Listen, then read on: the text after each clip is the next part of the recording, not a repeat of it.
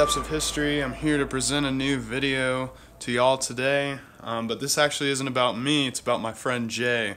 Um, I've been detecting with Jay for around two years now, and together we found many Civil War relics, uh, Native American artifacts, and colonial artifacts together. But this is basically going to be a video describing his collection, uh, so I hope you enjoy. Thanks so much for 17,000 subscribers as well, and we'll show you the collection.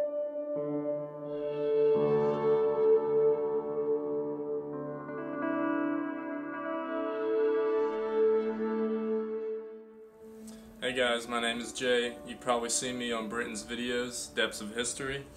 So this is my whole collection so far. I've started back in 2012. I was a novice. I was using like a, I think a Minelab Musketeer, metal detecting my neighbor's yard, uh, and they have a pasture. And I went up and down the whole field, and the first find that ever got me interested in metal detecting was this 10 karat ring, and uh, that was after a four hours or three hours of detecting, gridding out the field, digging aluminum cans, every signal basically. And then this is the last find of the day. Then here's the rest of my jewelry so far. Silver rings, a lot of junk on the bottom, but all the top is all the precious metal, silver, and then my one gold ring. And then tooth capped, found at the beach. Some other odds and ends, a U.S. Sun and Service, I was found um, locally here too.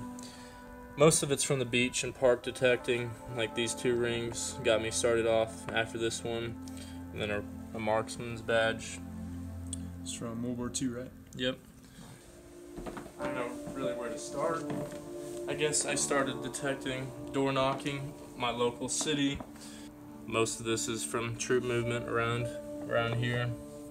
Some carved bullets, cleaner bullets up in here. These are all found near my house, actually, too. Flattened bullets, carved Enfield. And then, property I've been going to since I first started is in this display box right here.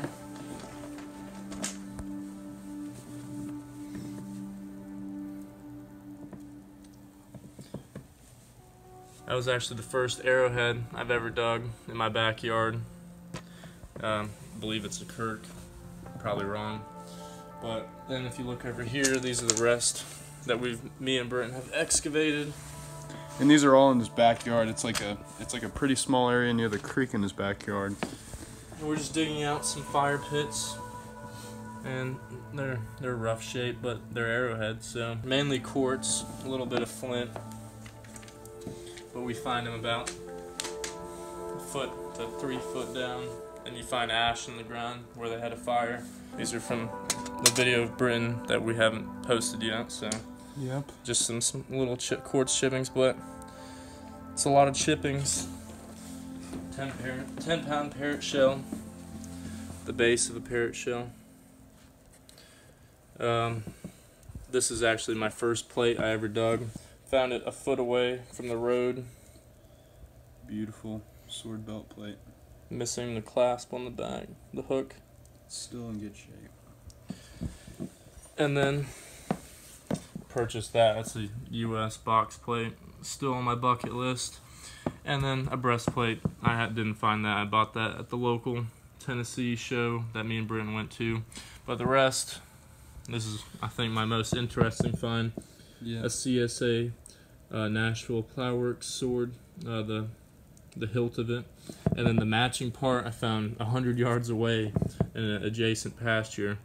That's awesome. But that whole sword would have been worth how much? Seventeen thousand dollars, but you know, in good condition, but still interesting. Still amazing. How it broke, probably a plow hit it. Unfortunately, maybe the other parts of the sword are scattered out there, but haven't found them. Two bullets connected with a rivet. It's interesting what soldiers would do in their free time maybe a modern day fidget spinner, who knows. Um, some nice arrowheads that I've dug in my backyard. And then, I don't know, a cow tag, but has a star on it. Six eight or eight nine, however you look at it. Don't know. It could be a cow tag, could be something else, could be a large cent that was carved, but This is our recent trip to South Carolina with Britton.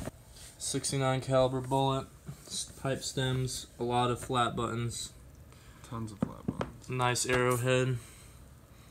Um, I think my favorite find out of this whole box. It's not in this box, so I think that's my favorite find from the South Carolina trip. 1815 half real. It's beautiful. It's really small. It's Awesome. It's in good shape. I mean, for my first real, I can't complain. Half real. And then the rest of it, also from South Carolina, 1854. Seated half down. Put this down so you can focus on it. We don't find that stuff up where we're at. We rarely find silver over here, just lead and iron. Um, here's another interesting find. It's a love token. Hand carved. I think I think that's got to be from at least 1850s, 1856. Probably the date. January 3rd, 56. Yep. Don't know if it's 19 or 1856, but who knows? Some other odds and ends. Just some mercs. We I don't find much silver, so it's always nice when I do. The glare is really bad. Nice eagle eye. Yep. And bullets and frags. He's uh, done a good job of preserving these, and also a very nice bayonet. You might remember that from. Oh, me and Britton doubled up in one day. Yep, we both dug bayonets in one day. Um, just some lead sabot. Schenkl shell. A lot of Parrott shell pieces. Um, there's a toy cannon right here I found in my local city. And it would actually fire too, I think. And there's a hole right there. I haven't cleaned it out. It's made out of pewter, so it's really, really fragile. A lot of wheat pennies, harmonica reeds, odds and ends. But And if y'all have any questions about you know what something is, Jay and I can help in the or if you can help me identify some stuff like this right here. I was thinking it was a, the top of like a compass because it does have US on it. It's really in rough shape. Might have to take a picture and post it uh, to show better detail. Yeah. Uh, I actually found this huge round chunk of lead right next to that, the road where I found my Union uh, sword belt plate. So maybe they use this to make bullets. Could be a picture frame holder Pocket or a pocket watch. Missing the inside of it. These are from recent stuff on the bottom is from recent videos. Me and Britton found a, a Union campsite where we found a bunch of drop bullets melted bullets, Tons of drops. and then where we found the that the Civil War, the Confederates running away from the Union. That field, I think we found all the dropped in fields. the CSA drop theory. Yep. And so the saddle um, shield with the lead inside. Shoe tap. Yeah. So that's a bugle mouthpiece or trumpet mouthpiece. That's awesome. It has some writing on it, silver plated. Got hit by a lawnmower, I suppose. Yep. And that was found at the same site. I'm trying to find, gather my bearings here. It was found at the same site where I found this Confederate um, a bayonet scabbard The bayonet's got yeah. and some other a bunch of parts of the knapsack and rivets and odds and ends. It's right next to a railroad too, so there's a flattened coin. Don't know if it's an Indian head or a wheat penny. And then this is Confederate. It has the letters six seven uh, zero nine. And then I don't know if I think it has an A on it, so it's the second batch from England of Enfields that they shipped over. Uh, rifle band found at the same site. This is in a recent video. We dug that in a creek, another bayonet scabbard. Some bullets and wood. Yep, had those preserved. Some greens, green bullets. Get the green carbine. This is a beautiful, beautiful butt plate. yeah, perfect shape. Don't know what this is. Could be a flag, the top of a flagpole. If y'all have any idea what that is, let us know. The star, the car- carved bullet that was carved into a star on one of our videos from the past two years. Soldier took his time on that one. And then here's a nice box of drops. The top here, some dropped Enfields, and then some fired at the bottom. Here's the Selma bullet, right there, down in Georgia. Pretty rare. Rarities would be this bullet right here. Bullet in wood, two bullets actually in wood that hit each other. We need to preserve the wood still, but Yep, is that a, a three ringer and a Williams cleaner? Yep. Just mashed together. Still some of the wood intact.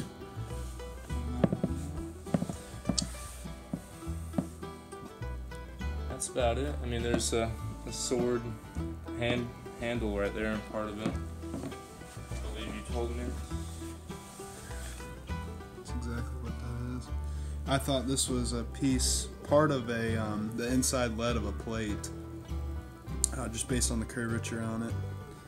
Um, he's got a lot of bullets here, though. And then some, while you're standing here, some buttons. Mostly um, New York button and um, infantry button, eagle eye. Buttons don't come up pretty here. Well, at least the ones I dig, they're all Lock plate. Lock plate, card bullet, uh, chest bullet, and then uh, Phallic bullet. a phallic bullet. But Those are awesome. skeleton key. This is all at the site that I showed you here. A number of things come out of the site. The Union and Confederates camp there. Oh yeah, here's another butt plate from that same site. So I found the Confederate numbered butt plate. This one, all this stuff, all this stuff, and then we went. I went detecting today. Yep. Jay got to go out detecting without me.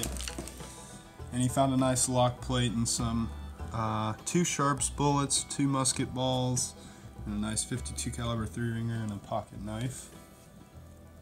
Pretty pretty good day out. It's a pretty good site. It's a lot of a lot of trash. It was a home built in the 1920s there, and they pitched all their trash out. So you find a lot of uh, aluminum cans and stuff, but you gotta dig trash to get the treasure. These are actually from my, my neighborhood.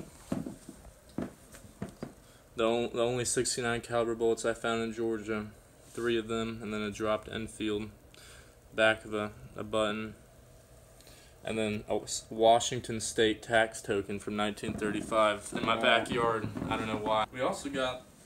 I don't think we've ever done a close up on this ring that we found that I found. Oh yeah, that was with Nick when we were out there.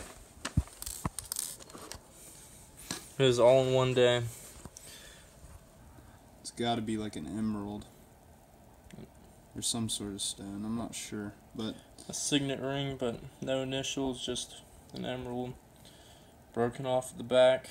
Found amongst all these bullets. There was very little trash there, so that's that's. yeah. I'm hoping that's period, but who knows? Could be, could not be. Lock plate cover. Don't find many of those. And the rest is just the typical typical bullets. Civil War relics. Here's a nice flint arrowhead. I mean, these are all dug in my backyard. I just haven't put them in cases, nicer cases yet. Scraper. That's a nice, yeah, quality piece. Interesting flint on it.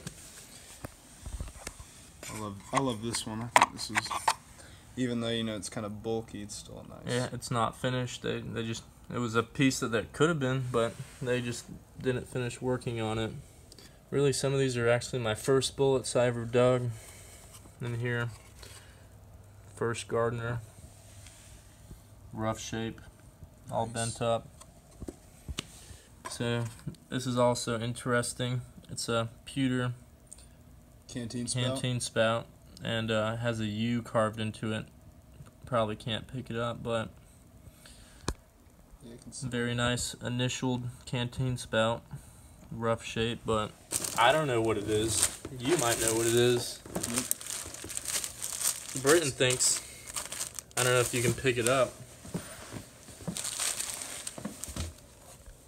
But it could be a Civil War belt. But it does definitely look period. I mean, that leather does look very. It was hanging on a log. It just rained heavily, so the creek flooded. Came back a few days later, and this is literally hanging on a log. But it's very fragile. I found this I don't know four years ago, three years ago. So it's been in storage for a while. But you can get a close up on these seams here.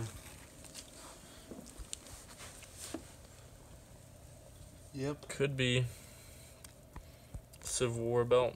I don't know. I don't know how it survived this long. Yeah.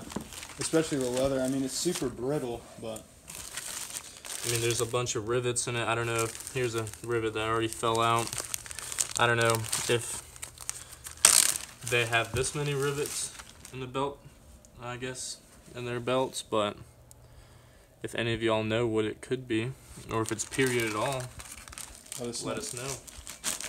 Well, I also used to collect uh, helmets from, from World War II.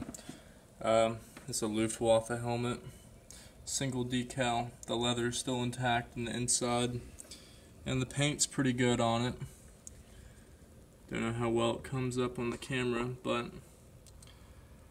that's one of my best helmets. I have two of these British helmets here. They look like the Doughboy helmets of World War One. The leather still intact. This is a Spanish German helmet, so the Germans made it for the Spanish during World War Two and post war. Uh, this is my father's when he was in the Navy, his lieutenant's hat. And then in there some Civil War binoculars. I don't know why, but they look good next to each other. A pestle for grinding stuff. Grinding foods and Fits perfectly in the palm of your hand. But, nice but one. pretty interesting. And then the last of the helmet collection, another World War II British helmet with the field dressing still in the netting. Don't know if that's original or not or is put there, but still has a leather liner. A Viet Cong helmet. This thing's funny. It is helmet Viet Cong during the Vietnam War, even with the badge still on it. But it's in pretty good shape for for what it is. And then some, of course, U.S. helmets. This one I think has a repro cover on it, but this one is original. Yeah, it's definitely a repro. And uh, that's about it. Guys, thank you for taking a look at my collection.